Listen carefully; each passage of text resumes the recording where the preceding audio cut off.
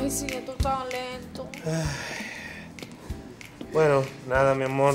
Gracias por todo. Cuídate. Pero tú me pagaste por dos, solo echamos uno. Sí, yo quería dos, pero el compadre se me murió. ¡Ah!